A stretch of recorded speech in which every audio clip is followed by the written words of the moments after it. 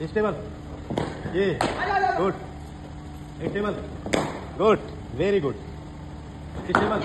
good ये stable ये मेरे साथ महार्थ है। ये बड़ौदा गुजरात से आया हुआ। है ये मेरे साथ पर्सनल ट्रेनिंग सेशन ले रहा है। एक महीने से मेरे पास ही है ये। और इस पर बहुत सारा काम किया गया है। खासतौर पर मैथ के फिटनेस पर बहुत अच्छा काम हुआ है। फिट हो रहा है। तो और अच्छा बैटिंग हो रहा। ये आप इसके साथ आप स्विप शॉट पे काम कर रहे थे। तो स्विप शॉट ये मार रहा था शुरू में। थोड़ा प्रॉब्लम आ रहा था इसको। टेक्निकली थोड़ा प्रॉब्लम था। बिकॉज़ बैलेंस भी थोड़ा बनाने हो पड़ेंगे। उसमें भी थोड़ा नहीं हो पा रहा था। बाद में ठीक किया इसने। अभी स्विप शॉट में क्या प्रॉब्लम आ रहा? देखिए स्विप शॉट में ये जब जैसे ही बॉल जैसे ही बॉल ऊपर से वहाँ से आ रहा पिक कर रहा है यहाँ आ रहा। जैसे ही पिक करने का टाइम आता है स्विप शॉट मारने का टाइम आता है, जाता भी ठीक है, और ये नी जैसे ही ये डालता है, पीछे वाला नी जैसे ही ये डालता है, और मारने जाता है तो क्या होता है?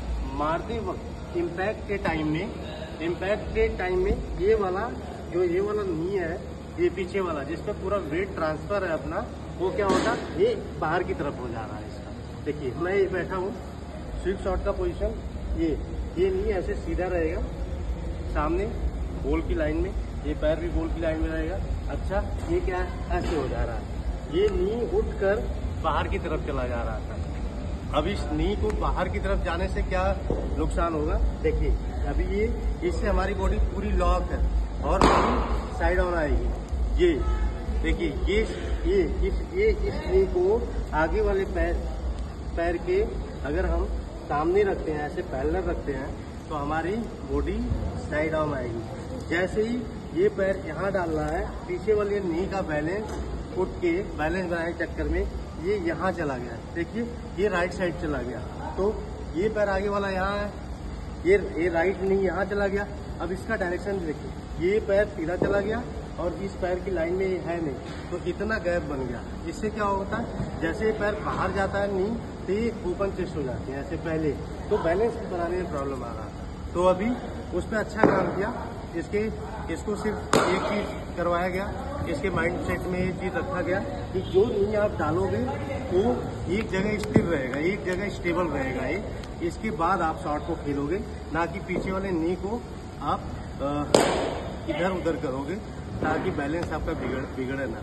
तो एक जगह स्टेबल रहना ज़रूरी है, किसी भी शॉट में, किसी भी शॉट में, ताकि बॉडी साइड ऑन और बराबर शॉट में पावर आ सके तो मार्क को अभी हम नी को स्टेबल करने के लिए फिर हम दो चार कसकोले फीट करते हैं और मारने के बाद थोड़ा होल्ड कराएँगे।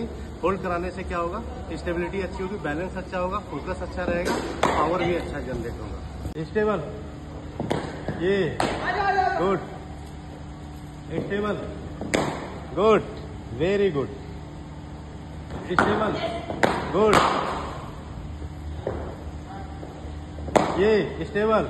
ये फ़ीड करा रहा था, इसको ड्रिल करा रहा था स्विप शॉट के लिए। इसके बाद, बताने के बाद मार्थ को जैसे ही मैंने बताया कि आपके दिमाग में, आपकी मसल मेमोरी में आनी चाहिए, ये ये कंसंट्रेट किया फोकस किया, और अभी देखा होगा आप लोगों ने, जब भी स्विप स्विप शॉट आ रहा है तो 80 टू 90 परसेंट ठीक आ रहा है। पीछे वाले पैर का नी ज़मीन पर जैसे ही जा रहा है वो एक जगह स्थिर है स्टेबल है, ताकि पूरा बॉडी का बैलेंस स्थिर होगा, फिर आगे बॉडी वेट ट्रांसफ़र कर रहा है मिलने के बाद फिर ये स्थिर होगा स्टेबल हो रहा है जिससे इसका कनेक्शन भी अच्छा है और हेड पोजीशन नहीं हिल रहा है। हेड की स्टेबिलिटी भी बहुत अच्छी आ रही है और शॉर्ट में पावर भी आ रहा है।